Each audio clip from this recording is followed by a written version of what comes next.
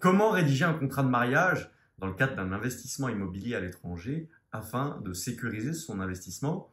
Eh c'est ce qu'on va voir dans cette vidéo au travers d'une consultation privée qu'on a eue récemment avec un client euh, qui investit à Riga et euh, il se demande comment faire valoir son contrat de mariage à l'étranger. On va voir dans cette vidéo comment faire tenir un contrat de mariage euh, sous la communauté universelle, aussi bien que de séparation de biens. Autrement dit, bah, je vais partager avec vous les conseils de mon avocat dans le cadre d'une consultation qui a été effectuée pour un investissement à Riga, capitale de la Lettonie. Bien sûr, hein, faites vos recherches dans le pays dans lequel vous voulez investir avec l'appui d'un avocat spécialisé hein, en droit immobilier de préférence dans le pays cible dans lequel vous voulez investir. Euh, si le contenu vous éclaire, euh, n'hésitez pas à le récompenser d'un like, partagez-le à un ami à qui euh, bah, ça pourrait faciliter la vie également. Et si vous demandez qui je suis, bien, je suis Romain Armato, PDG de Life Invest. Et si vous voulez apprendre à sécuriser partie de votre patrimoine couvrir une partie de vos dépenses mensuelles grâce à de nouvelles sources de revenus euh, dans l'immobilier, mais pas n'importe où, eh bien, allez sur lifeinvest.eu pour voir nos dernières offres. Sans plus attendre, on passe sur mon écran pour que je puisse vous montrer les solutions que vous pouvez mettre en place pour faire valoir vos contrats de mariage à l'étranger. On passe sur un format de carte mentale filmée, comme euh, à mon habitude récemment. On y va tout de suite, c'est parti. Effet spécial, tu apprécieras. Et on commence tout de suite avec, je vais mettre sur le coin ici, euh, la communauté universelle, pour ceux qui désirent avoir un bien euh, communément partagé par les époux. On va voir ça ensemble. Il faut savoir que, euh, toujours dans l'exemple de Riga, si on signe un bien immobilier, si un des deux époux achète un bien immobilier, passe chez le notaire, eh bien c'est la communauté universelle qui s'applique par défaut. C'est comme ça, il n'y a euh, pas de, connectivité entre les contrats de mariage français et lettons, par exemple. Et il faut savoir également qu'en cas de revente, la signature de l'épouse est nécessaire, de l'époux ou de l'épouse. Hein. Donc euh, ça veut dire que si un euh, des conjoints signe, le jour de la revente, il faudra que, la deuxième partie signe également. Et il est par contre euh, possible de faire le déplacement seul, euh, si pour des raisons pratiques c'est difficile de se déplacer à l'étranger, euh, comme j'ai un client par exemple qui ne peut pas faire le déplacement de Maurice, puisqu'ils ont deux enfants, donc c'est compliqué d'un point de vue organisation, et eh bien un pouvoir d'avocat peut faire foi, hein, délivré par, par un notaire, dans n'importe quel pays. Euh, gardons en tête quand même que cette procuration, elle peut être annulée par un des deux époux, donc il faut maintenir euh, la communication, il faut être sur la même page. Donc pour la communauté universelle, un des deux époux, pour résumer, euh, signe le bien, ça entre directement dans la communauté. Il faut, il faut en cas de toutefois, que les deux parties acceptent de revendre, et ça peut se faire à distance avec, avec une procuration. Dans le cadre de la séparation de biens maintenant, on va commencer avec un contrat annexe qui peut être rédigé euh, en parallèle du contrat de, vente, donc euh, de l'acte définitif de vente chez le notaire. Et c'est un contrat qui doit être euh, bien, bien fait, mais en gros qui indique qu'un seul époux est propriétaire. C'est signé le jour de l'acte notarié en même temps que l'acquisition. Et par contre, les deux époux doivent être présents à l'achat. Il faut faire le déplacement, le voyage ensemble. La seconde solution, c'est en l'enregistrant au registre civil du pays en question, du pays visé. Là, pour l'exemple de Riga, en enregistrant votre contrat de mariage au, registre civil letton, ça garantit que vos droits et obligations, en vertu du droit français, sont reconnus à l'étranger. Les deux époux doivent être présents pour faire la demande également. Et il y a deux actions à faire. Il faut que l'acte de mariage français soit traduit en letton, ou dans la langue du pays en question. Euh, et il euh, faut faire la demande auprès du registre civil. Euh, vous pouvez être accompagné par un avocat ou, y aller de, vous-même. il faut savoir que c'est un délai d'enregistrement d'une semaine en Lettonie. Donc bah, c'est un voyage de signature plus long à envisager. Ensuite, euh, pour qu'il y ait séparation de biens. Il y a la possibilité d'investir en société, hein, via n'importe quelle société existante, et auquel cas il faut euh, ajouter le cabis de la société et le document de représentation, donc du bénéficiaire effectif chez le notaire, il faut leur prouver cela. Euh, et puisque lorsqu'une personne achète avec une société, l'acceptation du conjoint n'est pas nécessaire, hein. le bien est considéré comme une propriété commerciale, les restrictions euh, concernant les conjoints ne s'appliquent pas. Toujours euh, dans la solution société, on peut créer une société locale, toutefois c'est plus chronophage, puisqu'il y a deux actions au lieu d'une, l'ouverture de la société, ça dépend du, temps que cela prend pour ouvrir une société, plus l'achat de la propriété. Donc euh, à Riga, euh, on me dit que c'est 3-4 euh, jours plutôt que 2. pour l'instant, on n'a pas eu l'expérience personnelle, mais ça viendra à l'avenir, donc je pourrais le confirmer dans le cadre d'une étude de cas futur, vu qu'on développe assez rapidement nos opérations dans ce pays, puisque c'est plein d'opportunités on en aura très certainement euh, un exemple sur la chaîne à venir. Donc c'est plus long, c'est plus coûteux aussi, euh, puisqu'il faut savoir dans le cadre de RIGA que les frais de notaire sont 2% du montant du prix de vente contre 1,5 pour les particuliers, donc 2% pour les entreprises.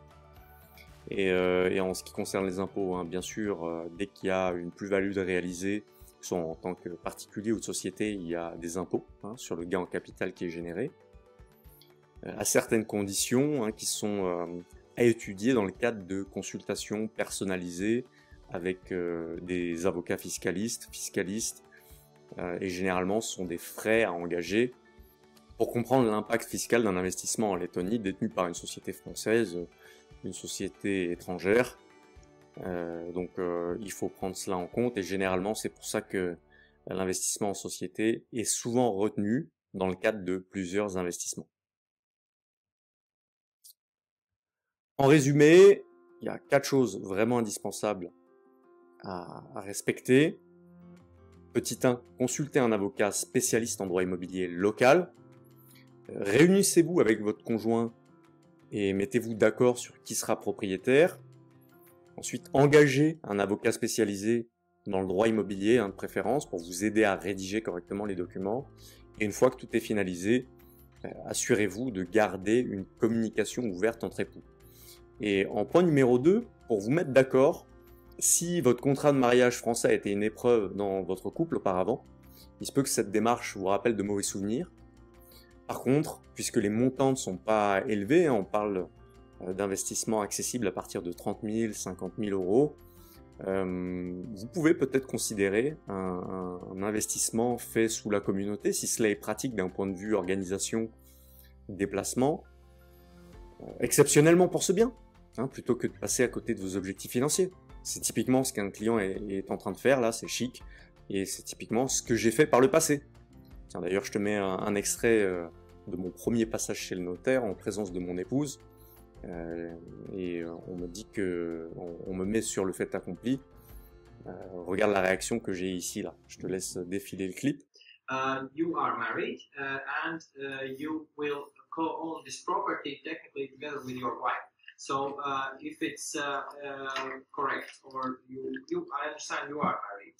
yes, that's correct. That's correct. Then, uh, by Latvian registered or you don't have a marriage contract uh, signed here, -huh. all properties owned um, are technically co-owned with the, the spouse, okay. and it means that, for example, if you would like to sell a property here, -huh. you would have to get the consent from okay. your wife. But you just you just wanna Happy to hear that. uh, technically, the owner, yeah, you are the sole yeah. owner of this apartment, uh, uh-huh. but by Latvian law, it's like uh, it's either that way. Yeah, it's, it's, okay. uh, it's, it's that way. Pour moi, c'est OK. Euh, L'objectif principal est de développer mon patrimoine. Euh, J'inclus mon épouse euh, dans l'addition. Euh, à l'époque, elle n'était pas encore euh, enceinte, mais on était en train de, de de planifier l'arrivée d'un enfant. Donc je me suis dit c'est judicieux, c'est le bon moment d'intégrer un bien à la communauté, même si on est marié sous contrat de séparation de biens. Euh, celui-ci, ben, je suis très heureux en, fin de compte de l'intégrer à la communauté. Euh, ça équilibre les choses. J'ai trouvé ça chic aussi. L'énergie était bonne. Et, euh, quelques semaines après, j'apprends qu'elle est enceinte, quoi. Petit, petit cadeau de la vie. Est-ce que c'est lié? Je ne sais pas. Mais euh, en, tout cas, euh, en tout cas, tout était aligné pour, euh, pour créer quelque chose de, de, de riche, de constructif et, et, développer notre relation. Donc, donc si ton objectif principal aujourd'hui, c'est de mettre en sécurité ta famille, hein, par de nouvelles sources de revenus, en diversifiant tes avoirs, en, en, en plaçant des pions comme ça à l'étranger, euh, fonce. Si c'est ton objectif principal, euh, mets de côté le principe que tu avais entendu avec ton épouse de séparation de biens et, euh, saisis l'opportunité lorsqu'elle se présente. Quitte à exceptionnellement, puisque ça ne concernera pas tes biens euh, en France, hein, ça concerne uniquement ton immobilier dans le pays visé, en l'occurrence Riga, un objet de cette consultation privée. Quoi de plus cohérent pour sécuriser sa famille que d'investir dans un bien qui vous appartient L'arbitrage te revient. En tout cas, c'est euh, des possibilités à mettre en place dans le cadre d'un investissement à l'étranger en euh, respectant les volontés de chacun et, et en créant cette petite étincelle peut-être qui manquait en fonction des contraintes que vous pouvez avoir aujourd'hui. Euh, il n'y a pas de bonne réponse, il n'y a que des options qui sont adaptées à votre situation. En tout cas, pour aller plus loin, ce que vous pouvez faire, c'est accéder à l'Atlas Life Invest. C'est une série de ressources intelligentes qui regroupe les étapes d'un investissement à succès. Euh, c'est le résumé de 10 années d'expérience en investissement transfrontalier. Et, euh, je mets ça à votre disposition gratuitement pour faire avancer la réflexion. Euh, d'une part, pour avoir tous les critères nécessaires pour choisir judicieusement votre pays d'investissement. C'est sur cette page-là. Vous allez avoir une liste de contrôle également pour éviter de vous tromper, éviter les arnaques, hein, comme il peut y avoir à l'étranger. Hein, c'est d'autant plus difficile de déceler une arnaque à l'étranger quand il y a des nouvelles données, quand euh, bon, on n'est pas habitué à l'environnement local. Donc je pointe du doigt ce qu'il faut regarder en priorité afin d'investir son argent judicieusement. Et je partage également le livre numérique euh, Investir dans l'immobilier à l'étranger, le guide pour géodiversifier. Hein, c'est un livre de 90 pages euh, qui explique mon parcours, les stratégies que j'ai employées dans ma vie personnellement pour avoir la liberté qu'on a aujourd'hui. Et en bonus, vous aurez accès à quelques opportunités d'investissement direct en étant accompagné par nous, si vous voulez avancer plus rapidement. Donc, euh, il suffit d'indiquer votre adresse email, ici, et vous allez euh, recevoir un email, donc comme prévu, avec la carte mentale. Ça résume vraiment tout les étapes d'un investissement immobilier à l'étranger avec succès, dont les 14 critères de sélection. On rentre euh, vraiment de manière euh, exhaustive dans toutes les choses essentielles qu'il faut retenir dans le cadre d'un investissement avec les indicateurs de performance clés, euh, de sorte à, être le plus prévisible et, couronné de succès mais on aborde également l'aspect levier bancaire. Bref, c'est vraiment une ressource indispensable si tu te projettes dans un investissement à l'étranger. La liste de contrôle, ça c'est pour passer au peigne fin. Chaque entreprise dans laquelle euh, vous désirez investir, euh, promoteur, et pareil, des questions auxquelles vous pouvez répondre directement avec des résultats voulus, est-ce que ce résultat voulu correspond? Si oui, oui, à cette petite case verte qui apparaît. Le résultat voulu ici étant rendement trop beau pour être vrai, euh, si le résultat est non, eh bien c'est cohérent également. Est-ce que les promoteurs ont révélé leur véritable identité, par exemple? Euh, le résultat voulu, c'est oui, hein, vous avez envie de, faire euh, confiance à des personnes qui publient des données sur, sur ce qu'elles font, sur leur expertise. Et si c'est non, bah, ça s'affiche en rouge. Tout ça pour avoir un score à la fin. D'accord? Qui vous permettra de savoir si vous prenez une bonne décision dans le sens d'un investissement réussi ou pas. Et, et comme promis également, vous allez avoir accès au livre numérique directement dans votre boîte mail. Ok? C'est en description de cette vidéo. Merci. Merci pour votre attention. De nouveau, suivez bien ces étapes-là qu'on a vues dans cette vidéo afin de protéger votre investissement dans le cadre d'un contrat de mariage.